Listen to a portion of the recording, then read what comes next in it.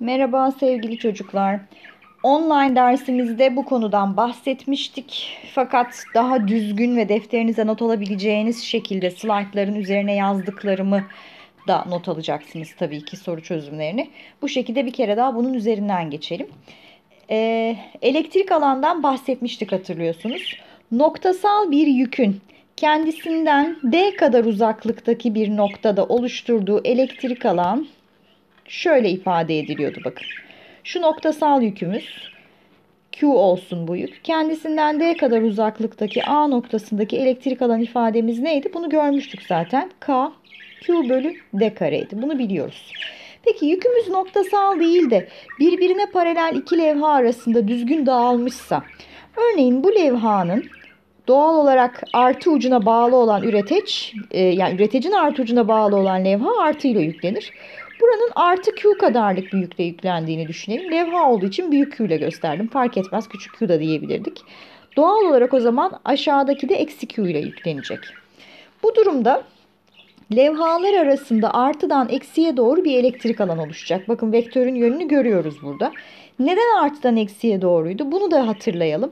Artı yükün elektrik alanı kendinden dışarıya doğru oluşuyordu. Çizgileri böyle gösteriyorduk hatırlayalım. Şöyle her yönde düzgün bir şekilde. Eksi yükün elektrik alanı da yüke doğru oluşuyordu. O zaman ortamda noktasal olarak bir artı ve bir eksi yük varsa aslında bakın artıdan çıkıp eksi yüke doğru şu şekilde yönelen elektrik alan çizgileri şeklinde gösteriyorduk bunu. Peki bu durumda levhanın elektrik alanını bu şekilde gösterdik. Peki e, büyüklüğünü nasıl bulacağız bu e elektrik alanının? Büyüklüğü şöyle. Paralel levhalarda elektrik alanının büyüklüğü paralel levhalar arasındaki potansiyel fark ve bölü levhalar arasındaki uzaklık D'ye eşit. Peki şununla bunun arasında nasıl bir ilişki var? Aslında bunlar birbirinin aynısı iki, iki ifade. Şöyle isterseniz bunu da görelim birbirinin aynısı olduğunu. Bakın V neye eşitti bunu da hatırlıyoruz. K Q bölü D'ydi. Şimdi bunu biliyorsak yukarıda şu yukarıdaki ifadeyi elde etmeye çalışıyorum. V yerine ben K Q bölü D yazarsam çarpı bir de yanda 1 bölü D var. O D şuradaki D. E ne gelecektir bakın K Q bölü D kare gelecektir. Yani aslında burada farkındaysanız biz elektrik e, ve manyetizma ünitesinin başından beri durup durup aynı şeyi yapıyoruz farkında olmadan. Peki geçelim bir diğer meseleye. Elektrik alanın birimine. Biliyoruz ki biz şu şekildeyken formülümüz E eşittir K Q bölü D kareyken noktasal büyükten bahsediyorduk. E eşittir V bölü D olduğunda da paralel uçlarında V potansiyel farkı bulunan levhadan bahsediyorduk. E eşittir V bölü D iken V'nin birimi volt, D'nin birimi metre ise elektrik alan birimimiz volt bölü metre diye çıkıyor. Noktasal yük şeklindeyken şöyle Q yükü kendisinden D kadar uzaklıktaki bir noktadaki A noktası olsun. Elektrik alanı ise böyle buluyorduk. Burada K bir sabit de hatırlayalım. Newton metrekare bölü kulomb karedir birimi. Hatta K şöyle 9 çarpı 10 üzeri 9 Newton metrekare bölü kulomb kareydi. Peki Q'nun birimi neydi? Klomp yerine yazdım. D kareden metrekare gelir. Şu yanındaki iki yanlış yazmışım. Onu üst indis olarak yapmam gerekiyordu. Yani aslında bu şöyle metrekare şeklinde olacak. Buradan metrekareler birbirini götürür. Klomp kare ile klomp gider. Yani karesiyle klomp gider. Newton bölü klomp kalır. E ikisi de elektrik alan birimi olduğuna göre bu iki birim birbirine eşittir. Bunların birbirine eşit olduğunu şu şekilde gösterebiliriz. Biliyorsunuz artık ee, ÖSYM e, bunu da sevmeye başladı e, birim sorularını. Daha iyi e, konuya hakim olmamızı sağlıyor birimleri bilmemiz. Peki paralel yüklü levhalar arasında herhangi bir noktadaki potansiyeli nasıl buluyoruz? Bundan da bahsedelim. Bundan MEP kitabınızda bahsedilmemiş ama bir takım kaynaklarda test çözerken levhaların herhangi bir noktasında arasındaki bir noktadaki elektrik alanı e, potansiyel farkın büyüklüğünü pardon bulmamızı istediği sorular var. O yüzden bunu da bir görelim. Şöyle yapıyoruz. E eşittir V bölü D'ydi. Bunu zaten biliyoruz. Buradan V'yi çekersek E çarpı D olur. Peki A noktası Artı yüklü levhadan D bölü 3 uzaklıktaysa artı yüklü levhadaki şu noktaya da K diyelim. KA arasındaki potansiyel farkı yani aslında A noktası potansiyelini şöyle buluruz. Şu ifadede bakın E yerine yine E yazıyorum. Artık D değil de D bölü 3 uzaklıkta olduğu için D yerine D bölü 3 yazdım. E, e eşittir V bölü D'ydi. E'nin eşitini yerine yazarsam burada D'ler götürürse V bölü 3'lük bir potansiyel farkı varmış demek ki. Daha doğrusu A noktasının potansiyeli V bölü 3'müş. Yani K noktası dediğimiz levhanın üstündeki nokta ile A arasında V bölü 3 kadar bir potansiyel farkı var. Çünkü şöyle yazayım. K noktası potansiyeli sıfırdır levhanın üstünde. A noktasınınki de V bölü 3 ise aradaki fark da zaten V bölü 3 kadar olur. Peki burada levhanın üstünde herhangi bir L noktası göstermiş. Bu sefer B noktası ona 2D bölü 3 mesafede. Onu da şöyle buluyoruz. Yine E'yi yazdık. 2D bölü 3 olduğu için D yerine de 2D bölü 3 yazdım. E'nin eşitini V bölü D olarak yerine yazarsam burada yine D'ler götürürse 2V bölü 3 oluyormuş aslında B noktası potansiyeli. Çünkü yine L noktası potansiyeli sıfırdır. Yani aslında şu VKA K noktası ile A noktası arasındaki potansiyel farkı yani aslında A'nın potansiyeli K sıfır olduğu için. Şu da e, B'nin potansiyeli L sıfır olduğu için. Peki A ve B noktaları arasındaki potansiyel farkı sorsaydı bize. Bunların birbirine eşit olmadığı kesin. Çünkü e, A ve B levhalara farklı uzaklıktaki iki nokta.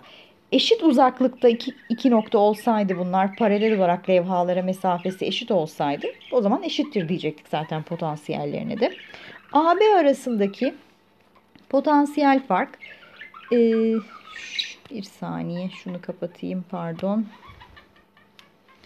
AB arasındaki potansiyel farkı bulmak için iki tane yöntemimiz var. İsterseniz burada bulduğunuz potansiyelleri birbirinden çıkartabilirsiniz. A, B arasındaki potansiyel fark B'nin potansiyeli eksi A'nın potansiyeli yazabiliriz. B'nin potansiyeli 2V bölü 3'tü. A'nınki V bölü 3'tü. Çıkartırsak görüyoruz ki V bölü 3 oldu. Ya da E çarpı AB arasındaki mesafe yani şu bildiğimiz ifadeden yola çıkabiliriz. E neydi? V bölü D.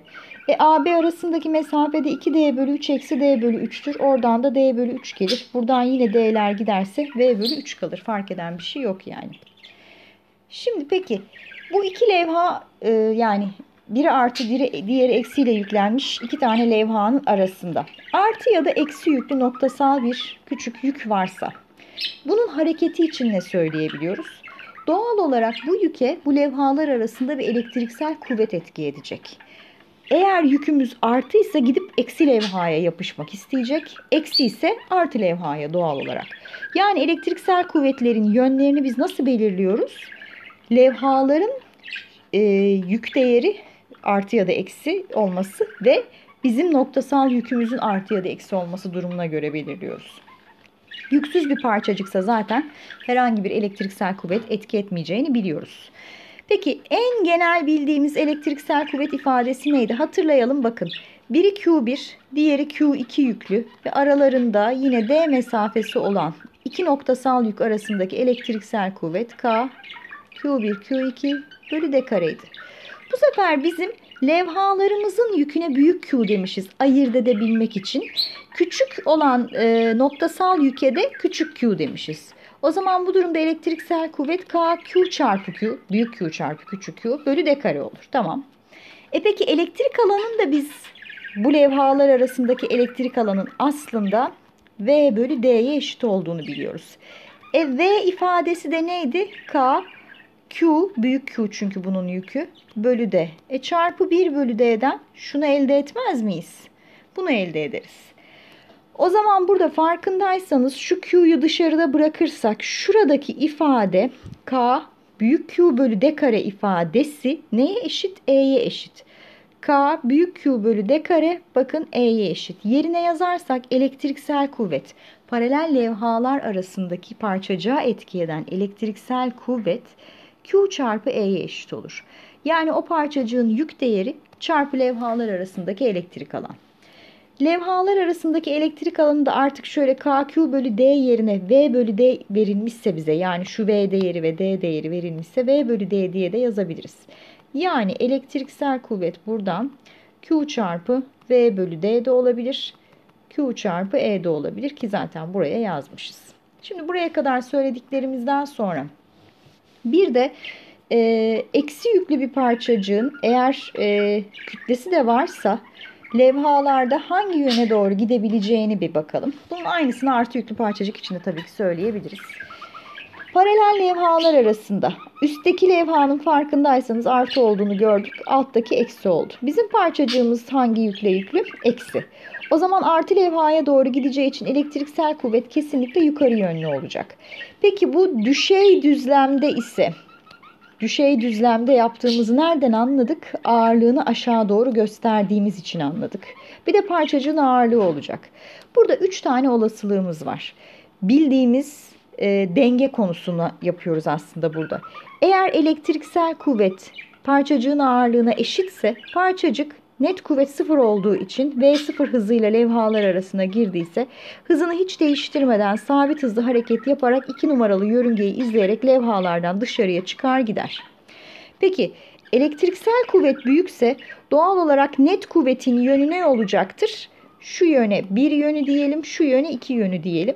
Burada net kuvvetin yönü bir yönünde olacaktır. Şu olasılığımızda elektriksel kuvvet büyükse. Net kuvvetin yönü bir yönünde olacağından bizim parçacığımız da artı yüklü levhaya bir numaralı yörüngeyi izleyerek yapışacak. Eğer elektriksel kuvvet küçükse net kuvvetin yönü iki yönünde olacak. Bunun için söyledik. Bu durumda da 3 numaralı yörüngeyi izleyerek şu şekilde levhaya gelip yapışacaktır diyeceğiz. Buraya kadar söylediklerimizle ilgili bir iki tane soru çözeceğiz şimdi. İlk sorumuz şu. V gerilimine bağlanmış paralel levhalar arasındaki M kütleli Q yükü levhalar arasında dengededir. He, bize şunu ifade ediyor bu. Bu dengededir. Bir şey söylemesi gerekiyor. Buna göre yükün yük işaretini soruyor. Bir de neyi soruyor? Pardon. Yükün yük işaretini soruyor. Pardon şunu silmeye çalışıyorum ama neyse. Ee, M kütlesinin B gerilimi cinsinden ifadesini soruyor. Bunu yine çözmüştük online derste bu soruyu ama yine bir kere daha detaylı bir şekilde anlatalım burada. Dengede ise yükümüz aşağı doğru bir ağırlığımız var. MG kadar bir de buna etki eden yukarıya doğru bir elektriksel kuvvetimiz var. Dengede ise elektriksel kuvvet ağırlığa eşit olmalı. Peki hatırlayalım. Elektriksel kuvvet neydi? Q çarpı E idi. Peki E neye eşitti paralel levhalar arasında? V bölü D idi. M kütlesinin V gerilimi cinsinden ifadesini istiyor çünkü. Eşittir dedik mg mg. Buradan m'i çekersek Q çarpı V bölü D çarpı G yer çekim ivmesi olacaktır. M kütlesinin V cinsinden ifadesi bu şekilde oldu.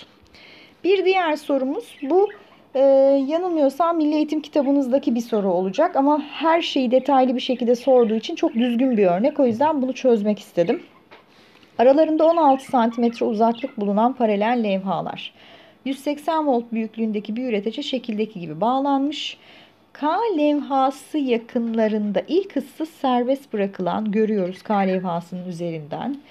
Ee, elektronun e, elektron için üzerine etki eden net kuvvetin yönünü soruyor. Önce hemen şöyle söyleyebiliriz. Levhaların işaretine bir bakalım. Eksi levha ise K levhası eksi. Eksi ucuna bağlı üreticinin. Üreticinin artı ucuna bağlı olan L levhası artı. O zaman eksi yüklü bir elektrik alana yukarıya doğru, L'ye doğru bir elektriksel kuvvet etki eder. Yönünü bulduk. Büyüklüğünü soruyor bize.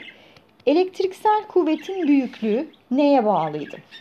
Şimdi onu da şöyle yapacağız. Levhalar arasındaki elektriksel kuvvet şöyle hesaplanıyordu. Q çarpı E. Bu A seçeneğinin cevabı. Yükümüzü vermiş. Elektronun yüküdür zaten yük. 1,6 çarpı 10 üzeri eksi 19. Burada yük ve kütleler e, gerçek hayata uygun verildiği için elektron ve e, elektronun kütlesi ve yükü çok küçük değerler. Biraz 10 üzeri eksili e, işlemler yapacağız. Ee, yani üstü sayılarla çarpma bölme işlemleri yapacağız biraz fazlaca burada. Çarpı E elektrik alanı. E elektrik alanı neydi? V bölü D'ydi. İsterseniz şuraya yazayım. E eşittir. V bölü D'ydi. Bunu kullanacağım. E yerine V bölü D yazacaksak V 180 volt yazdım.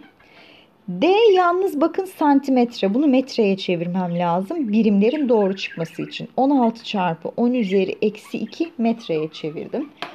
Şöyle yaptık burada da. Ee, şunu da bakın işlem kolaylığı. 16 çarpı burayı 10 ile çarparsam burayı bir 10 azaltacağım. Eksi 20 yaptım. Çarpı şunu da 10 üzeri yazayım. 18 çarpı 10 üzeri 1 bölü 16 çarpı 10 üzeri eksi 2. Şimdi şuradaki 16'lar götürdü. Ne kaldı burada? 18 kaldı. 10 üzeri eksi 19, 10 üzeri eksi 2. Bu eksi 2 yukarıya artı 2 olarak geçecek. 19'dan da çıkartırsam 10 üzeri eksi 17 şeklinde kalacak. Pardon elektriksel kuvvetin büyüklüğü Newton'du tabii ki. Bu kadar Newton'muş demek. İvmesini soruyor. Hmm, hiç burada bir ivme hesabı yapmamıştık. Farklı bir şey mi yapacağız? Hayır. Newton'un hareket yasalarından bildiğimiz ivmedir. Bakın F eşittir M çarpı A. Burada sadece bilmemiz gereken şey şu. Bu parçacığa etki eden tek bir F var. O da nedir? Elektriksel kuvvet. Yani bizim burada Newton'un temel prensibinde F net yerine alacağımız kuvvet elektriksel kuvvet M çarpı A. Yukarıya doğru hareket söz konusu çünkü burada. Peki F net eşittir M çarpı A ise burada parçacığın yukarıya doğru e, yer çekimi ivmesini bakın neden kütlesini verdiği halde MG'yi almadık aşağı doğru diye düşünebilirsiniz. Haklısınız. Eğer şunu yazmasaydı burada MG'yi de alırdık ama şimdi almıyoruz. Yer çekimi ivmesini ihmal ediniz demiş çünkü. Demek ki ağırlığı o kadar küçük ki zaten kütlesi ağırlığını önemsemiyoruz. Net kuvveti bulduk. Yazalım yerine. 18 çarpı 10 üzeri eksi 17. Kütlesini soru vermiş. 9 çarpı gerçekten elektronun kütlesi budur. 10 üzeri eksi 31 kilogram çarpı A ivmesi. 18 ile 9'u sadeleştirirsek 2 çıktı. 10 üzeri eksi 17, 10 üzeri eksi 31. 31 artıya dönüşecek. Ee, ne kalacak? 2 çarpı 10 üzeri artı 14 kalacak. Bayağı büyük bir ivmeyle hareket ediyor. 2 çarpı 10 üzeri 14 bu. Metre bölü saniye kare ivmeye sahip. Neyi soruyor sonra? L levhasına ulaşana kadar elektriksel kuvvetin yaptığı iş. Bakın sanki bu ünitenin sorusu değilmiş gibi değil mi? Bunu bize iş soruyor, ivme soruyor ama değişen hiçbir şey yok. Elektrik konusu olması iş ifadesinin farklı olduğu anlamına gelmiyor. İş neye eşitti? Hatırlayalım. Bu konunun içerisinde elektriksel işten bahsetmiştik. Ya parçacığın enerjisindeki değişimdi ki burada kinetik enerjisi değişiyor ama yukarıya doğru da yükseldiği için potansiyeli de değişiyor. Ya da şöyle buluyorduk. Yük çarpı hangi iki nokta arasında gidiyorsa o noktalar arasındaki potansiyel farkı. Burada hangi iki nokta arasında gidiyor? KL noktaları arasındaki potansiyel farkını soruyor. E, yükümüzü biliyoruz Q. KL noktaları arasındaki potansiyel fark bizim üreticimiz değil mi zaten? O da V'dir. Direkt V ile çarpabilirim yani. Potansiyel fark dediğimiz şey bu. Yükünü soru söylüyor. Neydi? 1,6 çarpı 10 üzeri eksi 19 çarpı 180 yani 18 çarpı 10 üzeri 1 dersek ben bunu yapmıştım önceden. 2,88 çarpı 10 üzeri eksi 17 jul şeklinde çıkıyor yapılan işimiz. Son olarak Ç seçeneğinde çarpma hızını soruyor bize. Bakın yapılan işi biliyorsak çok rahat bunu buluruz artık. Yer çekimi ivmesini ihmal edeceksek potansiyel enerjisi yok. O zaman bizim yaptığımız iş direkt parçacığın kinetik enerji değişimidir. Yer çekimi ivmesini ihmal ettiğimiz için bir de potansiyel enerji değişimini hesaplamayacağız. İhmal edilmeseydi parçacık yukarıya doğru yükseldiği için potansiyel de kazandığından onu da işleme sokmam gerekiyordu.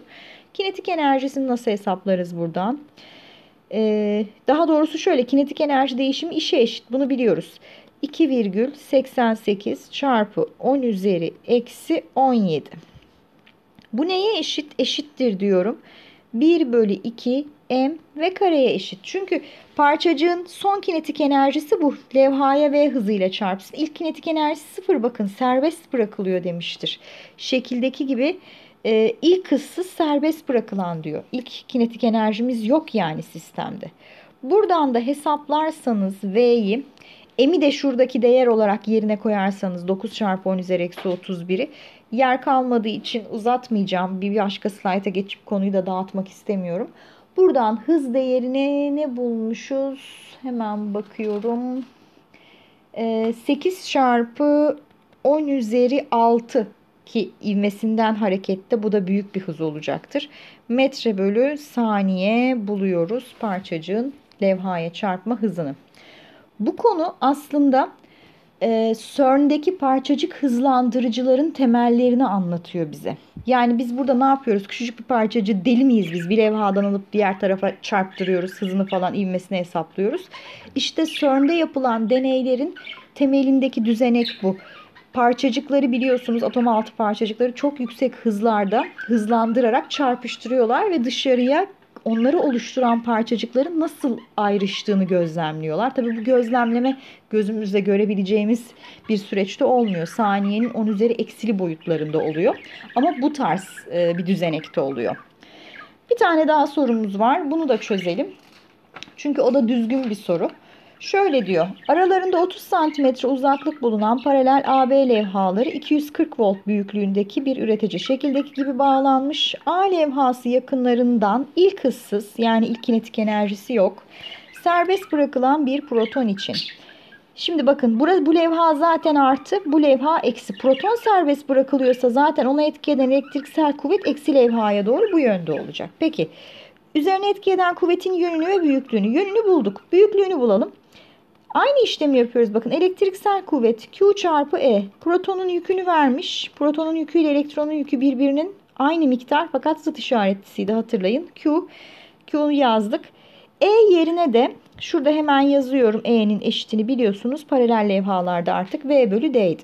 V değerimiz 240. Onu da 24 çarpı 10 üzeri 1 diye yazayım ki sadeleştirebileyim.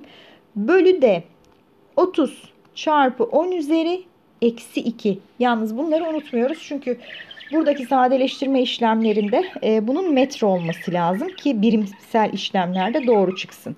Şunun da volt olması lazım. Uzatmayacağım. FE'yi buradan buluyoruz. Artık buradaki değer ne çıkarsa. Hemen ivmesini nasıl buluyoruz ona bakayım. İvmesini de şöyle buluyoruz. F net eşittir M çarpı A.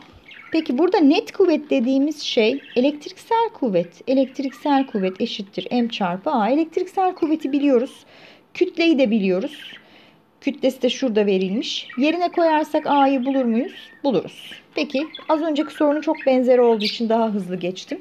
Çok uzattım çünkü videoyu sıkıldınız. C. B levhasına ulaşana kadar elektriksel kuvvetin yaptığı iş. B levhasına kadar ulaşana kadar elektriksel kuvvet şu işi yapar. Pardon. Q çarpı levhalar arasındaki potansiyel fark. AB levhaları arasındaki potansiyel fark. Q'yu biliyoruz. 1,6 çarpı 10 üzeri eksi 19. AB levhaları arasındaki potansiyel fark 240 volt zaten. Çarpı 240 diyeceğim. Yaptığımız işi buradan bulabiliriz. B levhasına çarpma hızı iş eşittir kinetik enerji değişimiydi. B levhasındaki kinetik enerjisi eksi A levhasındaki kinetik enerjisi diyeceğim. E, A levhasından serbest bırakıldığı için bu sıfır. İlk hızsız diyor. Şuradan iş ifadesini şurada bulmuştuk bakın şu. Onun yerine yazarsak 1,6 çarpı 10 üzeri eksi 19 çarpı 240 eşittir. B levhasındaki kinetik enerjisi de 1 bölü 2 m ve B'nin karesi. Burada verilen m değerini şuradaki m değeri olarak yerine yazarsak hızını buluruz. Peki B levhasına ulaşma süresini sormuş. A, B, C, Ç'ydi bu pardon. Yanlış görmüşüm. Ee, D seçeneğinde de ulaşma süresini soruyor. Onu da bakın şöyle yapacağız. Yol yani e, yol eşittir hız çarpı zamandan yapacağız. Ama burada ivmeli hareket söz konusu olduğu için nasıl yaparız? Evet gittikçe hızlandığı için ivmeli hareket söz konusu. Buradan değil de x eşittir v 0 çarpı t artı 1 bölü 2 at kareden yapabiliriz. Burada v sıfırımız nedir? 0 olduğu için burası gitti. F net eşittir m çarpı a'dan şu a'yı bulmuştuk. Yerine yazdık. Peki x dediğimiz şey ne burada? 30 santimetrelik yol. Yani 30 çarpı 10 üzeri eksi 2 eşittir. 1 bölü 2 a t kareden de t'yi bulabiliriz. Yine bu sorunun detaylı çözümünü yani e, değerlerini isterseniz ben de burada hesaplamışım. Çok fazla vaktinizi almak için şunları bulmadım. Tekrardan bir kere online derste de yapabiliriz. Görüşmek üzere. Umarım slayttaki her şeyi defterinize geçirirsiniz. Anlamadığınız yerleri lütfen not alın. Bir sonraki online dersimizde bu hafta içerisinde çarşamba günü bana sorun. Hepinizi öpüyorum.